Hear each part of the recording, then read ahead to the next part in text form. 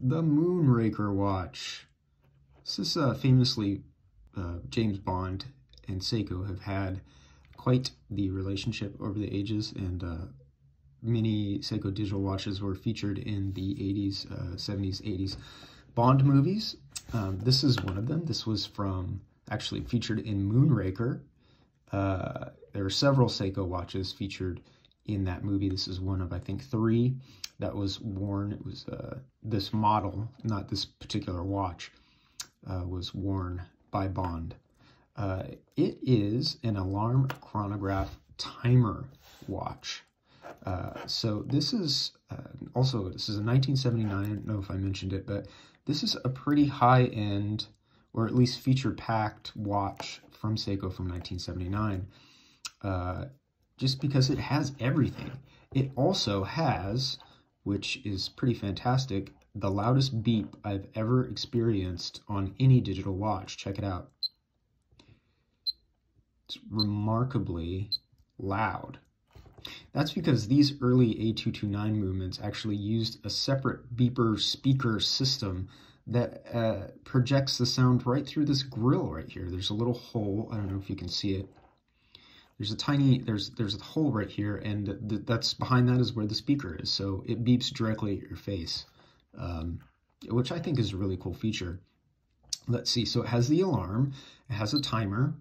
Um, so here you can see, uh, like the other Seiko watches, the time is always displayed at the bottom and your sort of, um, your modes are at the top here above this split in half by this day of the week uh, bar, which is pretty neat.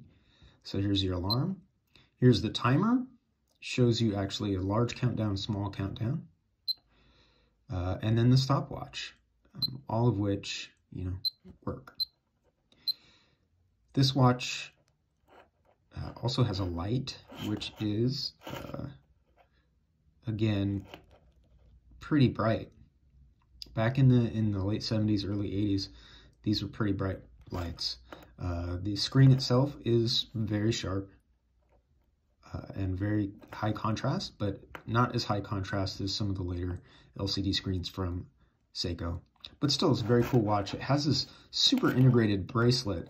I'd say super integrated because typically Seiko's do have inter, uh, Seiko Digitals do have integrated bracelets, but this one, the first two links of the bracelet are actually sort of fused together uh, with this little riveted bit here. So it creates a nice arch that hugs your wrist. There's a little bit of damage on this side. This watch, um, again, also had a stuck battery door. Here's a battery door here it battery door was stuck. I managed to get the battery door off with nothing more than uh, than a nickel and some grit and determination. So that's lucky. Luckily, that was all it needed.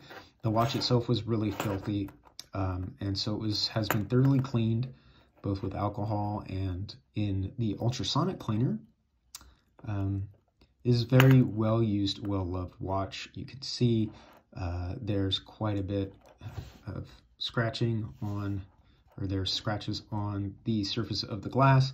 However, it's not too bad. I actually think it's not bad enough to replace the glass. Um, you could.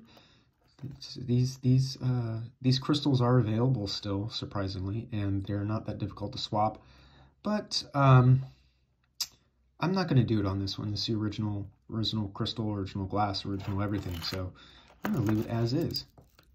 Uh, the bracelet is actually quite lightweight, very thin folded links, and extremely flexible. You can see it feels almost chintzy.